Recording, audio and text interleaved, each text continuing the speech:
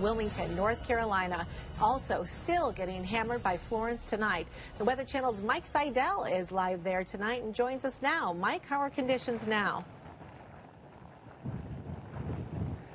Hey, Alex, it's almost impossible to hear you out here. It's hard to believe that we've been in this for about 24 hours. The wind still gusting upwards of 50 miles an hour. We had our first we had our first squall last night at about 10:30, and it's been almost nonstop ever since. And you know, now we're on the backside of the hurricane, so the wind's coming in from the southeast and south. Uh, last night it was from the northwest. Then once the, the eye came right by us here, just across the bridge in Wrightsville, North Carolina, Wrightsville Beach, the winds came around in the northeast and pushed the water up. And we do have another high tide coming in uh, at midnight. We'll see if the surge comes up as high as it did today. We had uh, at least a four-foot surge out of Wrightsville Beach. That was the noon high tide. Uh, just a wild night out here. Driving over here, the visibility was down to about a block or so with this torrential driving uh, rain. There are trees down everywhere. And power, last time I looked, was out to over 800,000 customers uh, here in North Carolina. The real issue here is that the what was the hurricane, now Tropical Storm Florence, is just not moving. I was thinking back, I've covered about 70 tropical storms and hurricanes, and I've never seen this kind of wind and rain combo the magnitude of this combo continue for this many hours. Uh, this is uncharted territory for me. Usually hurricanes move faster. Now we will get heavy rains, but the winds die down as the system weakens. But as you can see, we're still in some very strong gusts over 60 miles an hour. And even though it's a tropical storm now, uh, the rain will be a big issue right on through a good part of the weekend. We should start to see things back off here in about 24 hours. But again, it's been a long uh, 24 hours here in uh, eastern North Carolina. Mike, I might want to go back to Atlanta. I might want to explain Alex. to our viewers. So Alex was actually uh, live in Wilmington as well. Her conditions were much calmer than uh, you have been experiencing, Mike. This is Jackie Jeras. So you're just getting in now on one of those heavier rain bands that's been pushing in. How long has that been in your area?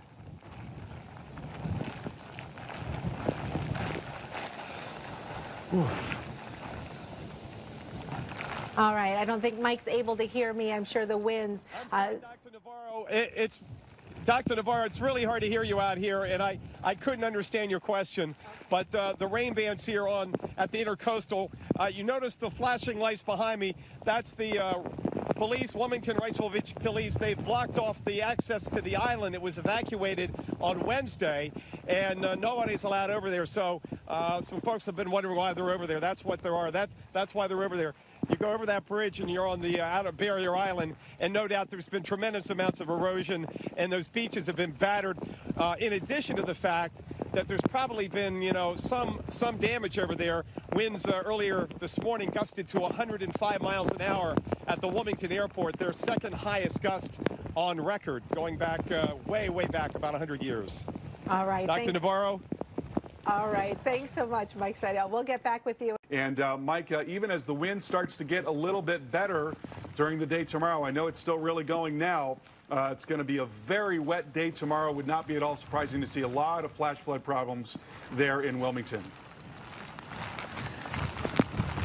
Yeah, we're hoping that things begin to relax tomorrow as Florence finally pulls away slowly, and then it will pick up some forward speed as we get late in the weekend and has more of a steering flow. But uh, tonight, another uh, rocky night. And you know, even though we're not going to have wind gusts like we had this morning to 105 miles an hour, these 40, 50, even 60 mile an hour gusts will continue to uproot more trees because the ground is so saturated. And the heavy weather moved into Myrtle Beach this morning. They've had upwards of five to six inches of rain uh, around the beach area just since uh, late this morning. Mike Bettis was there today. Took quite a battering as we check in with him down the coast. And fortunately for Myrtle Beach, the storm weakened. So the fact that when the eye wall in the area got, gets down in that area and the weather they've had, they're not getting the triple digit wind gusts. Most of the wind gusts there have been clocked in between about 50 and 60 miles an hour, but still uh, over 80,000 customers without power in South Carolina. Let's go back to Atlanta. Jackie Jeras. Jackie, I apologize for referring you referring to you earlier as Dr. Erika Navarro. That You're both okay. wonderful human beings. I was going to say it's but not it's, an it's so hard to hear out friend. here. But I'm sure it's very hard to you've hear got the out latest there. timing on. You've got the latest timing on the weather in Myrtle Beach and Wilmington, and when potentially this may begin to wind down, especially right here. Yeah.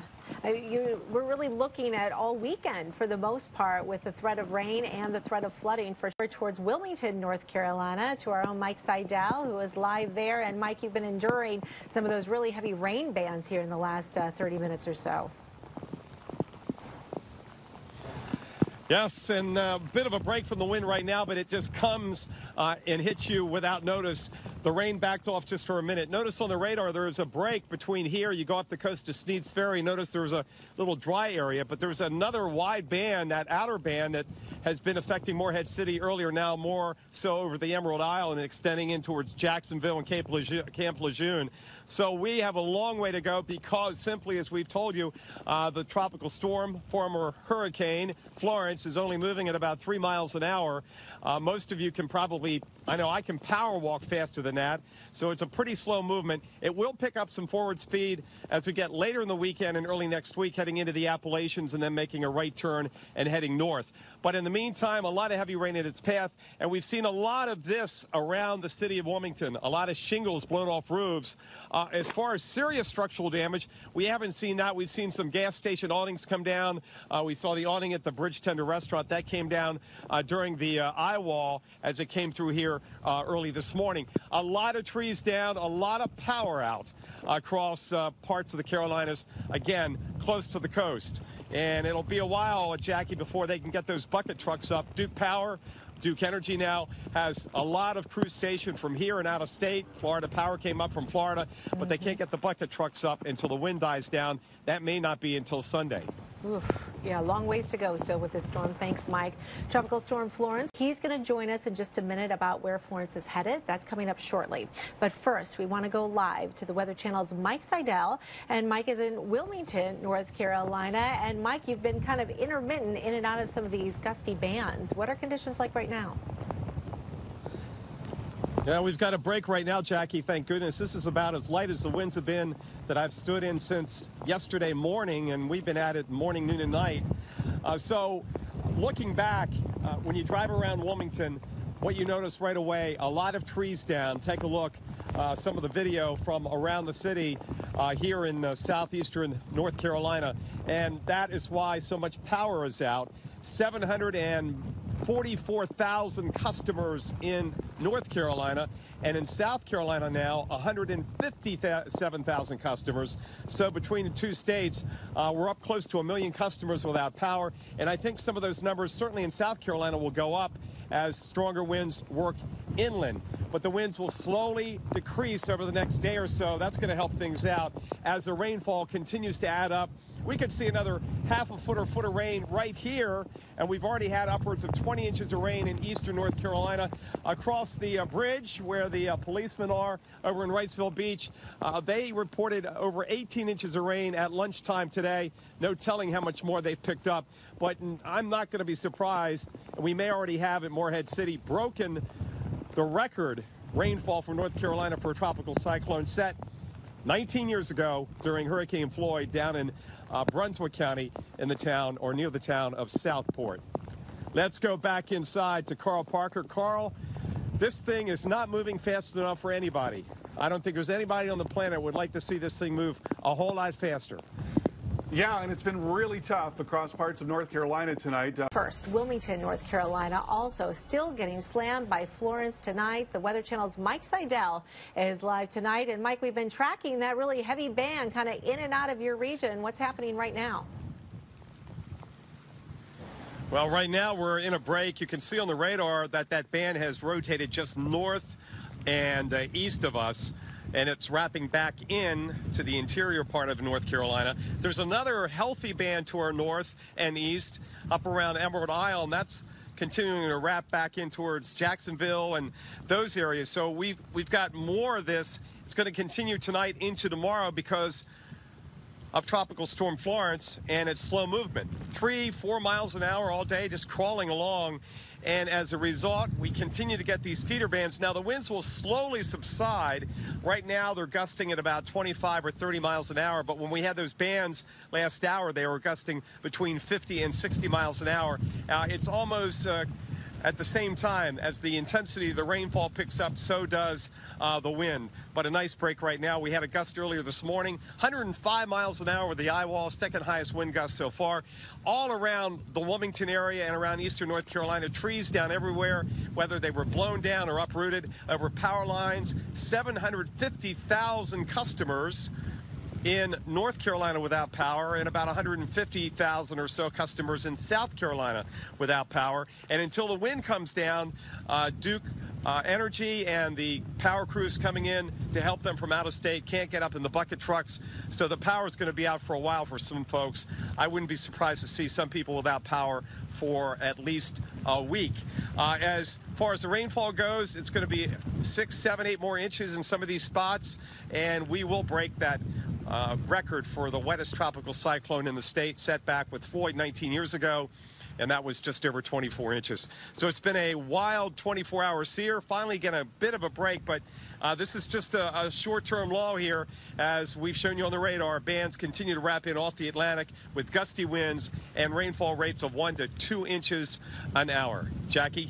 Yeah, we've got uh, probably a good 24 hours to go with the threat of still some of those strong winds there in Wilmington. We want to get you caught, up. To Mike Seidel. Uh, he is in Wilmington. And Mike, it's been uh, about the wind today. And uh, that's probably going to change a good bit tomorrow. Winds dropping off, but then you start to see just hour after hour after hour of heavy rain coming in off the Atlantic. Yeah, that will be the change tomorrow. The wind's slowly backing off, but the rainfall will continue. Uh, today, by the way, uh, we've had uh, tremendous amounts of rainfall. Wind gust earlier, 105. The worst of the weather hit here starting about 10 o'clock last night. But the storm is moving so slow, it took until about 9 or 10 this morning, about 12 hours later, for the areas of Myrtle Beach and Horry County down the coast in South Carolina to get into the thick of it. That's how slow Florence is and was moving. Mike Bettis was in the thick of it today and files this report. Back here in Wilmington on the Intracoastal, by the way, today at noon's high tide, we had quite a surge. Airlie Road, which is back here in the dark, uh, runs by all these uh, great seafood restaurants uh, like the Bridge Tender and, and the Fish House. The, those restaurants were surrounded by the surge and it came across the road. We just had another high tide at midnight and I just walked down the road and I can see the water. There is some surge, but it's not as high as it was tw uh, 12 hours ago simply because the wind direction has gone from east to northeast around to more of a southerly direction. And so I think now that we're uh, past this high tide, the next one, Jackie, too, the water will be up, but we won't have the surge issues we had at noon on Friday. Let's go back to Jackie Jeras with timing on this here uh, and also down at Myrtle Beach. Jackie? Yeah, we'll get a couple of cities in here and talk about some specific impact in the dark there. Our own Mike Seidel is joining us live now from Wilmington, North Carolina. And Mike, I don't know if you could see the montage there from all what Stephanie went through today, but you've been there as well. Tell us what it's been like today for you. Well, this morning was uh, pretty wild. We had the eye wall come at us. We were not on the air, but uh, it was very loud at the hotel. And the only lights on are the ones right here powered by generators. Uh, the entire city, as far as I can tell, is dark. The only other lights are the uh, police over here and the sheriffs. They're keeping folks from going over the causeway, over the bridge to Wrightsville Beach, where earlier today they reported 18 and a half inches of rain. I bet they're up to around two feet, and that would, uh, a little over two feet is a record for a tropical cyclone in the state of North Carolina. That was during Floyd back in 1999. Surge today came up, record surge in Wilmington, just over three and a half feet. And down here on Airlie Road, the whole road was underwater. It is not that way tonight. So even though we had a high tide about 20 minutes ago, the water is not as high because the wind is now more from the south than the east and northeast, which really piled up the water at the high tide at noon today. It'll be windy into Saturday. The winds, though the peak gust will back off, the rainfall will not. We've got this these bands that continue to wrap in, and because simply because Florence is not moving very fast, three, four miles an hour. Uh, we're going to be into this pattern through tonight, into Saturday, through the out the day, Saturday and Saturday night. And then it should start to break down Saturday night and Sunday as the worst of the rain moves inland. Those areas, too, will go under flash flood warnings like we have been here, it seems like, Jackie, since late last night. They just keep extending it and putting out additional flash flood warnings over uh, most of eastern North Carolina. Jackie? Yeah, it's been raining all day. I mean, just unrelenting, nonstop. Even though the winds have died down, I imagine you've got to be soaked through the bone. Is just everything wet everywhere? Uh, yes, and uh, with the power out, there's uh, no dryers in the hotel, so I'm um, hanging my shirts up in the room, but uh, the rooms are starting to get a little uh, a little uncomfortable because there's no air conditioning, and uh, luckily I have four or five more dry shirts. All I think right. by Sunday the rain will back off a little bit, and eventually, you know, we'll all get back to Atlanta and we'll do some laundry. But in the meantime, we've got another two or three days at least uh, and even more for some areas because of the uh, upcoming river flooding right. in uh, parts of South Carolina and North Carolina. Yeah, even after the rain stops, uh, water is going to continue to be a problem. Thanks, Mike. Well, tropical